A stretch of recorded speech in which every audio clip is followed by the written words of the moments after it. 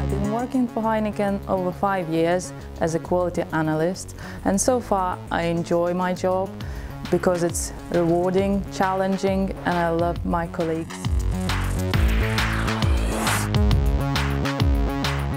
My favorite brand is Bulmers. It's a modern brand which can satisfy almost everybody's taste with its wide choice.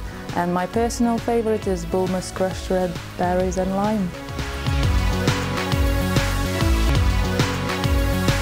The favorite thing I love about Heineken is working with people who are passionate about their jobs and wants to make a difference.